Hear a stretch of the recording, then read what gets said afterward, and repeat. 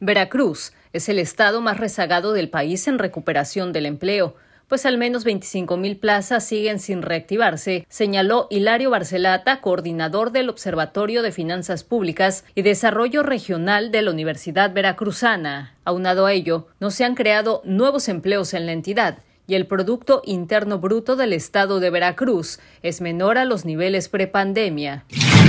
Todo depende de, lo que se haga, ¿no? del, tanto, tanto el sector eh, empresarial como el, sector público, ¿no? el gobierno.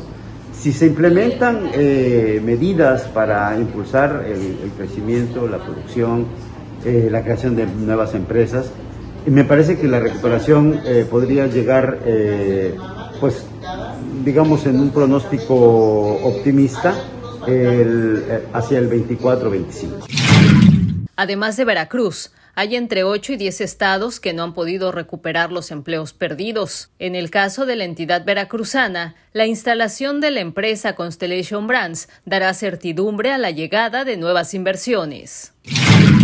No solo hay, digamos, se detona el crecimiento económico en el núcleo central de la actividad productiva que llega, sino que además eh, pues se genera proveeduría, se genera un eh, efecto multiplicador hacia las empresas eh, relacionadas con esa empresa que llega.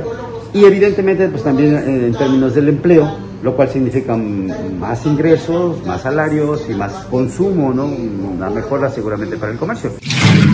En términos nacionales, Barcelata Chávez afirmó que el crecimiento es mayor en relación a 2021, pero en una mínima proporción. Boga Reyes en la Cámara para Imagen del Golfo, Laura Morales.